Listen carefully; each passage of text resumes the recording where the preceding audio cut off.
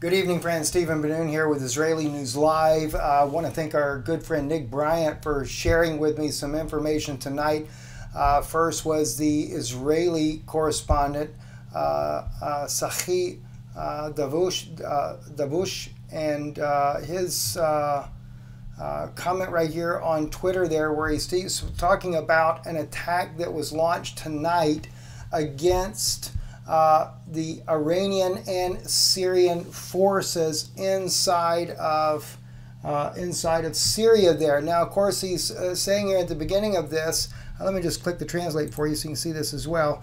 Uh, that the, the that the military targets that were being targeted over there was as a result of the uh, improvised explosives that were put there along the border fence. And of course, it is being blamed upon the Syrians and Iranian fighters that actually did this to target the military, Israeli military. Now, the only reason I find this a bit suspicious is because, as we had reported ourselves uh, back in on that was actually on October 17th and 18th.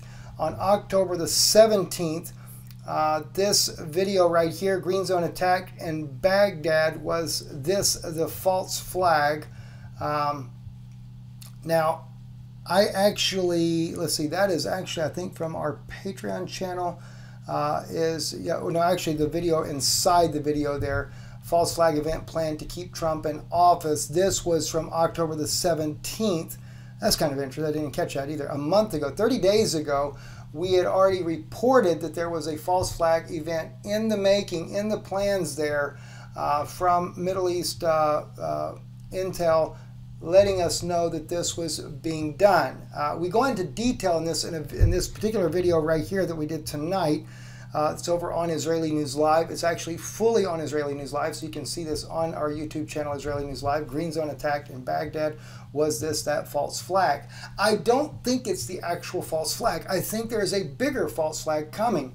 But then tonight, when Nick sends me this information here uh, by Tzachi uh, Davush, and showing that the Israelis also retaliating and, of course, blaming this on Iran and at the same time, we know that Trump had just, as I, as I brought out in this video tonight, I, I share in here with you. Let's see, where is it at? Um, a little further in the video there, where, here we go, right here.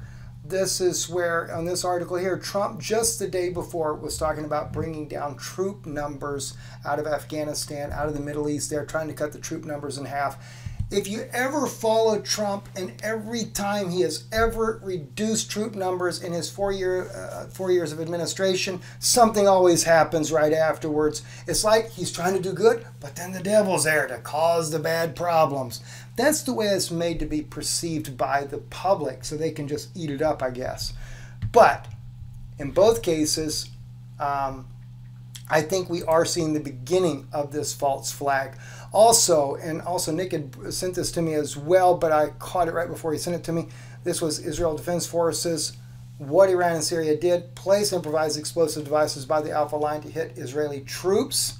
Uh, and what we did, we struck Iranian Quds forces and Syrian armed forces and targets. Actually, no, I take that back. Nick sent me a different one here. Let me see if I can follow the thread on this. Yeah, it says uh, the attack damaged warehouses, command posts, and military complexes and batteries of surface to air missiles. So, again, Israel was using this opportunity to be able to uh, hit harder on Syria, soften Syria up. I shared with you guys a little while back as well how that uh, intel out of our own um, Pentagon had told me that Israel considers uh, Damascus as the backbone of the Middle East. They break Damascus, then they will conquer the rest of the Arabic nations. So I keep those things in mind as I'm watching on what's going on here. So uh, we're already following. Uh, I didn't realize that. Okay, so we'll continue on here. So this was the attack there that they showed going off I know you won't hear the audio on this, but uh, this was in uh, the, the rockets coming in at the green zone.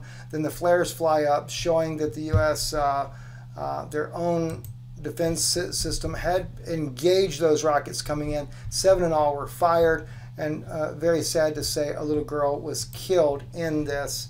Um, was killed in this exchange here. Child killed after rockets fired on Iraq's heavily fortified green zone. Uh, CNN reported it as well as many other news agencies. Um, Tuesday, killing at least one child, and injuring five other civilians, according to the Iraqi military. According to Middle East reports here, they said here the Joint Operations Command announced on Wednesday that security and intelligence services have initiated procedures to diagnose the launches of the projectiles that fell inside the outside the green zone and and led the martyrdom of a child and wounding five civilians, promising that what happened will not pass without an account. Now, I had reported tonight over on Israeli News Live already that if it ends up being a tit for tat, that might draw Iran out. But again, still, we shared with you guys uh, uh, when we had this intel. the main intel that I had is on Patreon.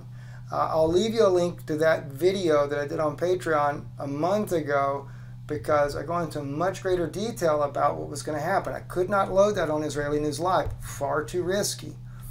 Um, but anyway, it says uh, at the end here, she added that what the capital of Baghdad witnessed today is Tuesday evening from the fall of a number of projectiles in, in the celebration square and surrounding areas near the city of uh, Medicine and Al Zawara, which led to the death of a child and the injury of five civilians. Diagnosis: the prep, prep, prep excuse me, perpetrators to get their fair reward.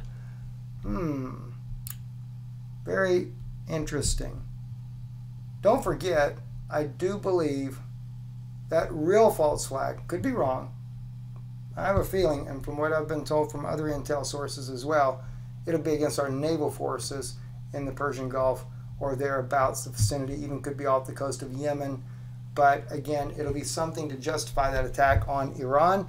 Once the attack on Iran is done, now that we see Israel is stepping up their campaign as well, they want to see, even if Biden were to still take power, they want to see that while Trump is in power, that Iran is dealt with.